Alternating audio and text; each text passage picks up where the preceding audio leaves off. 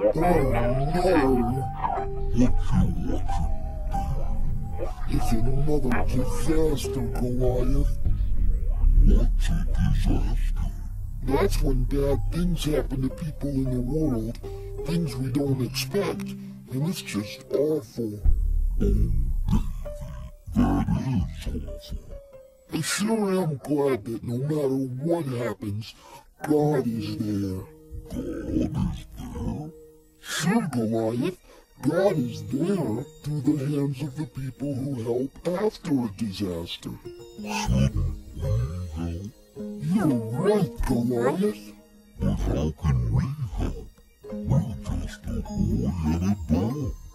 Even small hands and paws can make a big difference if we all work together. Let's go